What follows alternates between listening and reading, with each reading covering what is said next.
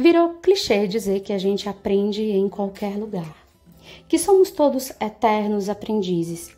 E não virou clichê, clichê à toa. Virou clichê porque é verdade. A gente está sempre aprendendo, quer queira, quer não. Mas eu ouço pouco comentar-se sobre o que a gente aprendeu enquanto, enquanto pessoas com deficiência quer visual, quer outra deficiência, porque a gente sabe também que tem pessoas com deficiência visual que têm outras deficiências. Os aprendizados de pessoas com baixa visão podem ser diferentes do nosso. Alguns aprendizados são fáceis, outros são difíceis.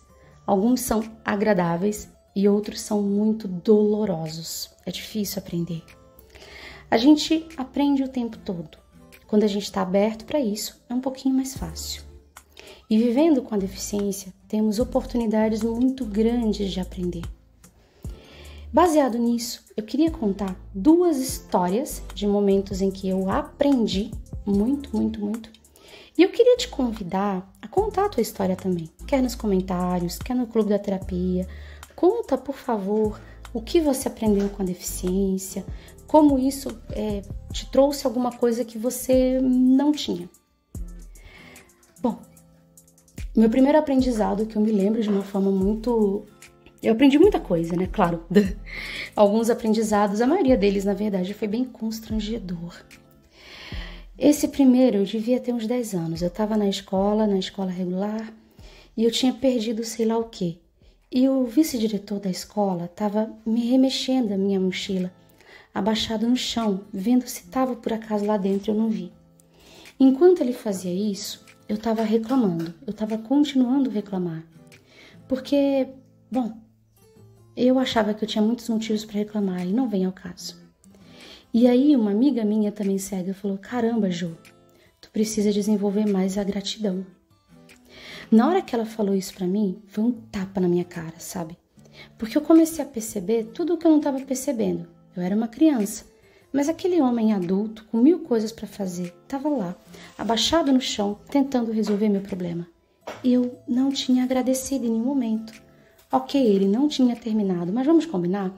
Eu não ia agradecer, porque eu estava muito focada no meu problema. Essa história veio na minha cabeça várias vezes ao longo dos anos. Isso faz. Ah, gente, faz mais de 30 anos, seguramente. E eu não esqueci. E eu tento ser grata, sabe? Não significa que você vai negar os perrengues que você passa ou que você vai ter aquela positividade tóxica de que tudo tá lindo, tudo tá maravilhoso. Mas quando uma coisa acontece na minha vida de ruim, além de olhar para o que tá errado e lutar para melhorar quando é o caso, eu vejo o que tá funcionando. Então, por exemplo, os anos da faculdade foram muito difíceis para mim. A faculdade não estava preparada para receber pessoa com deficiência. que novidade! Né? E assim, era muito difícil, muito capacitismo, muita. Era muito difícil. Mas, ao mesmo tempo, eu ficava olhando as coisas boas que tinha lá. Então, no momento em que eu lutava para melhorar o que não estava bom, eu ficava me treinando para olhar o que estava bom. Por exemplo, 90% dos professores me respeitava demais, tipo, eles gostavam de mim enquanto pessoa. Eles reconheciam meu esforço e até um certo talento que eu pudesse ter.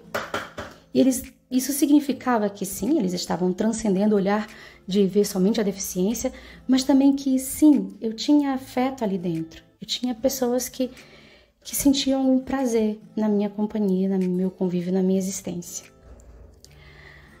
E isso me ajudou a lutar pelas coisas que podiam ser mudadas ali dentro, que eu pude mudar. Foi difícil, foi muito difícil, foi uma luta. Mas graças a esse olhar de gratidão, eu consegui entender desde o começo que os meus inimigos ali dentro não eram as pessoas, era a estrutura. E para as pessoas poderem mudar a estrutura, além de poder mudar, ter tempo para mudar, oportunidade para mudar, elas precisavam conseguir enxergar o que eu estava vendo. O meu olhar sobre a estrutura, que era o olhar de uma pessoa com deficiência visual, era forçadamente diferente do olhar delas. E tudo bem. Sabe, embora fosse um período de luta, um período de luta que teve sim consequências psicológicas sérias para mim até, eu entendi contra o que exatamente eu estava lutando e contra o que eu não estava. Então, esse olhar da gratidão me permitiu enxergar melhor um monte de outras coisas que estavam acontecendo. A outra história que eu queria contar aconteceu ainda antes. Eu era bem pequena, eu devia ter uns sete anos, eu acho, se não seis.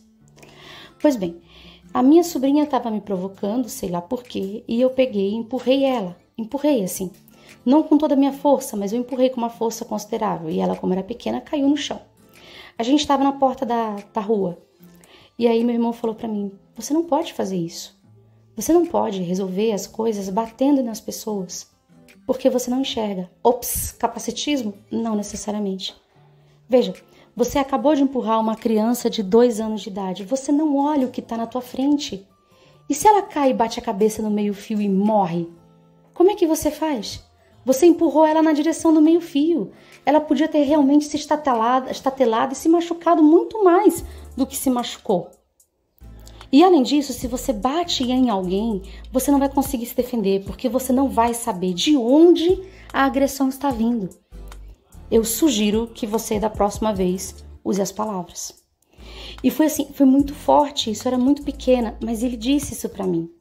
E eu senti que ele colocou a minha cegueira não de uma perspectiva capacitista, mas de uma coisa de presta atenção no que você tem, presta atenção no corpo que você tem, presta atenção nas possibilidades e se proteja, proteja os outros e se proteja. Então não é só uma questão de não violência, não é só uma questão de não bata nos outros porque bater não é legal, não bata no coleguinha, embora, coleguinha, embora isso seja verdade. Mas a questão aqui era uma, uma perspectiva de se coloque na sua condição, não somente numa questão de você receber benefícios, mas de você entender aonde você está. O que você pode fazer, o que você não pode, o que você precisa e o que você não precisa. E eu acho que isso me ajudou muito ao longo dos anos, sabe? Eu comecei a pensar e a avaliar na minha diferença em relação a outras pessoas, não de uma perspectiva negativa meramente, mas aonde isso me colocava.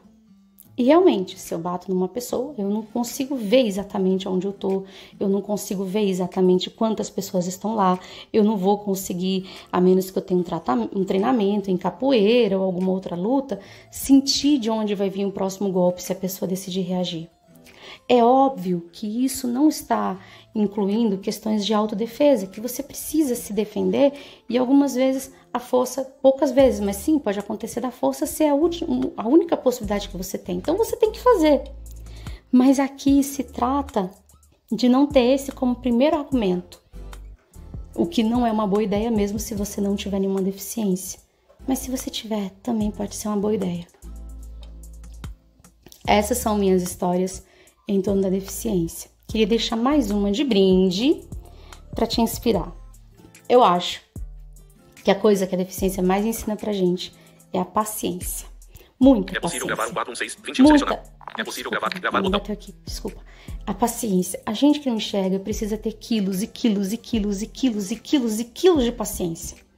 Ontem mesmo, eu tava querendo criar uma música no sono. Aí eu liguei meu computador e ele não saiu áudio. Ok, eu tinha que então saber em que ponto estava a tela. Para saber onde que estava a tela, eu tive que achar meu telefone.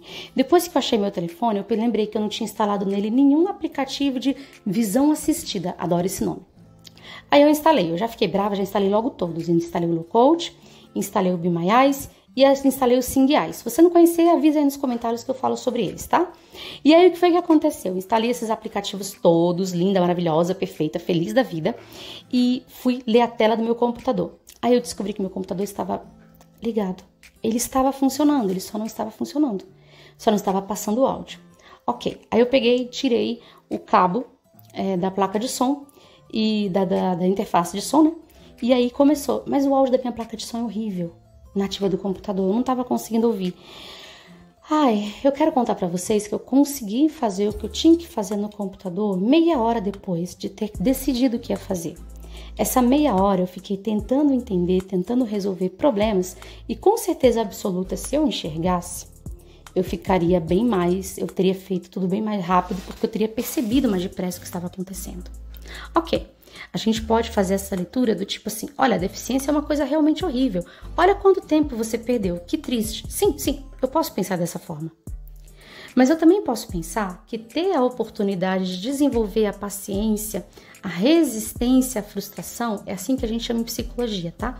Resistência à frustração. Vai me fazer ter mais condições de lidar com desafios que exijam realmente muita paciência. Gente, quando você está tendo, por exemplo, problemas de saúde com você ou na família, isso é muito sério. Isso vai exigir de você paciência acompanhar um ciclo de quimioterapia ou mesmo a recuperação de uma cirurgia complexa vai exigir de você paciência. É Quando você tem, por exemplo, um problema de saúde, sofre um acidente, você vai ter que passar por uma reabilitação lenta, você vai ter que ter paciência. Do contrário, você não vai se ajudar. Do contrário, você não vai ser útil. E sabe o que vai acontecer? O problema vai estar tá lá, do mesmo jeito. Então, quando esses desafios vêm, se a gente aprende, todos nós, com ou sem deficiência, a sustentar, a ter resistência à frustração, a gente vai ter mais facilidade para lidar. A resistência à frustração é como um músculo que vai se desenvolvendo ao longo da nossa vida. A gente nasce, obviamente, e vai desenvolvendo os nossos músculos do corpo. Quando o bebê engatinha, ele está se preparando para andar. Quando o bebê anda, ele está se preparando para correr. E daí por diante. Então a gente vai fortalecendo a nossa musculatura usando. Só que na nossa estrutura emocional também existem uma série de habilidades mentais que também vão funcionar como músculos a serem fortalecidos. Só que agora são, digamos assim, músculos mentais. Então, quando você fortalece a sua tolerância à frustração, quando você fortalece a sua paciência, você vai ficar mais forte. Agora, é claro, Fortalecer a paciência, ter resistência à frustração, não significa negar o problema. Não significa dizer que está bom aquilo que não está. Não significa não poder reclamar. Mas significa, em muitos casos, não desistir. Ou simplesmente não deixar que uma tela que você não consegue visualizar azede o seu dia inteiro. E eu acho sim que a deficiência é um... me deu muita condição de fazer essas coisas. Poderia ter feito de outro modo? Claro que sim. Tem muitas pessoas que não têm deficiência e desenvolvem a paciência. Mas foi o modo que a vida me ofereceu nesse lugar, nesse espaço. Desculpa, gente. E eu aceitei a cartilha que, que a vida deu para aprender, sabe? Não tô dizendo que é sempre flores, que é sempre legal. Não é. Eu sou a primeira a dizer que Viver com a deficiência, uma deficiência importante, não é fácil. Mas não significa que tenha que ser ruim o tempo todo. Não significa que a gente não possa viver. Não significa até que a gente possa usar isso para crescer e até mesmo influenciar no crescimento de outras pessoas e até mesmo de instituições. E você?